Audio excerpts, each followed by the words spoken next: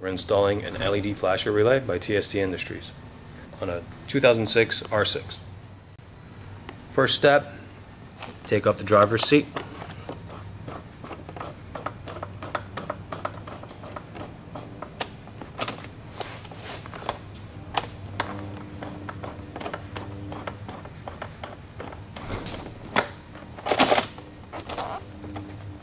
Step 2, find a relay. The relay on this particular bike, the 06 and 07 R6, is behind the battery under the hinge for the tank. So you, you will need to remove the battery itself.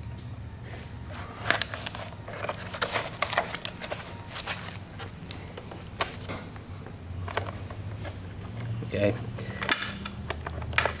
The relay is visible right here. It has a rubber clip that this type of a clip sits in.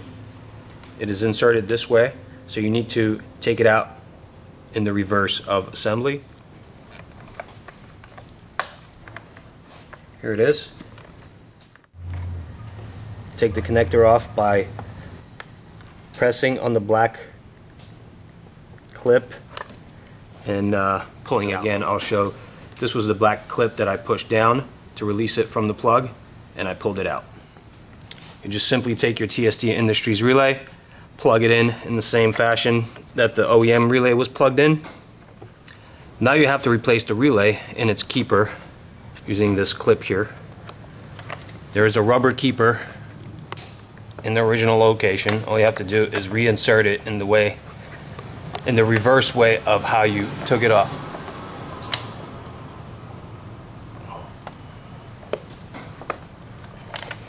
Voila. Now you go and uh, test your signaling system.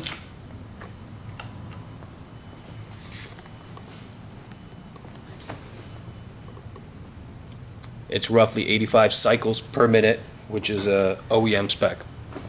Okay, now that you know it's working, you put everything back the way it was in the reverse order of this